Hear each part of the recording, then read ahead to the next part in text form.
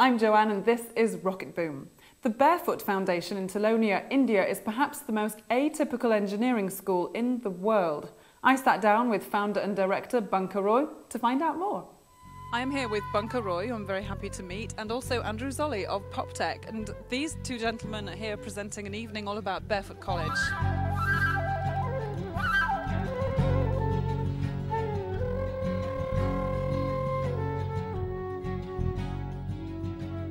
What I've noticed about reading about Barefoot College is that it seems that you can start with the, the smallest, simplest of ideas and really transform not only a community but kind of set about to, to change the face of a country like India. And I know you're working in one community in particular, but your work is spreading. So I'm going to hand you the microphone so that my arm doesn't drop off halfway through. But Bunker, please feel free just to fill us in and tell us all about Barefoot and your work. Well, my real education started when I started working with poor communities. And all these simple ideas that we actually applied on a large scale in the Barefoot College were ideas that we picked up from the community. If you only listen to what um, these people, very poor, ordinary people, uh, have in their, uh, on the way they solve their own problems, I think most of the problems around the world will be solved if only we listen to poor communities. We are solar electrifying villages all over the world. We're taking middle-aged women who are between 35 and 55, who are semi-literate, who have never gone out of their village in their lives. Uh, and in six months, we train them to be barefoot solar engineers.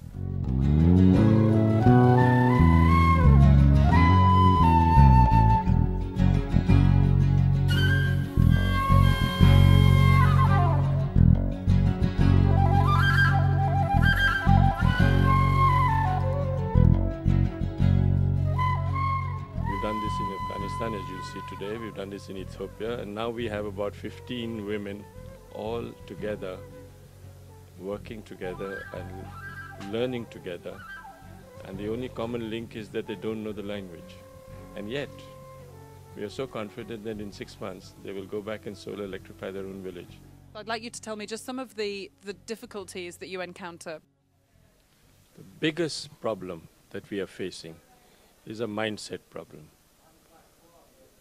It is inconceivable in, when you go through a formal system to accept uh, that a woman who has never left her village in her life in six months can solar electrify her own village.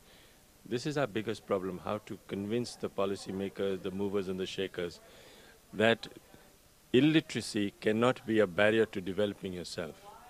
Why are we making it a barrier? And if you can break that barrier, then sky is the limit.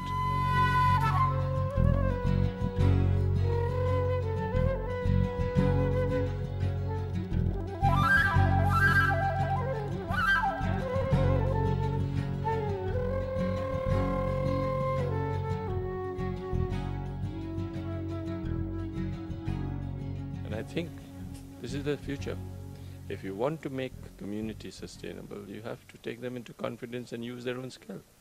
Simple as that. It's so simple.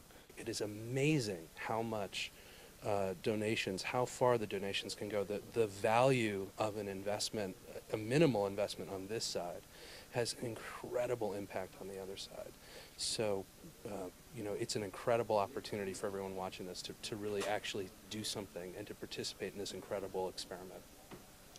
Thank you very much. I always think my personal motto is enough intellectualizing. We can't solve the problems if we sit around and just intellectualize them. It's actually about getting out there and doing that. And you're an example of that. Thank you very much for sparing this time with us.